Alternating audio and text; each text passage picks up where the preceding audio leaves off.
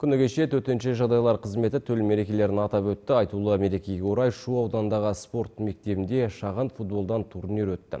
Бұл дода Байзақ ауданындағы әскери бөлімде жарылыстан қайтыс болған қызметкерлерді еске алуға арналған. Турнирге Тұрар Рысқұлов, Меркі, Қордай, Отар, Мойынқұм, Шу ауданы және ардагерлер командасы қатысып бақтарын сынады. Әрине, мұндай спорттық шаралар бұқаралық спорттың дамуына өз септігін тигізері сөзсіз.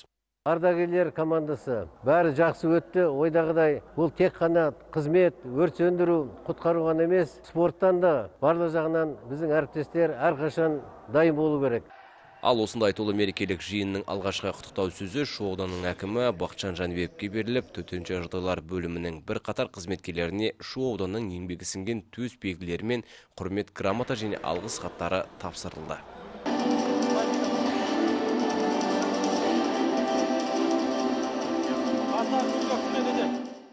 Бір созылған тартысты дода жеңімпаздар анықталды. Бірінші орында Қордай ауданы, екінші орында Шу ауданы, үшінші орында Меркі ауданының командасы қанжығаларына байлады.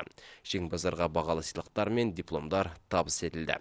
Шерхан Мұратбекұлы, Жұмахан Төлеуұлы, Айқын ақпарат Шу ауданынан.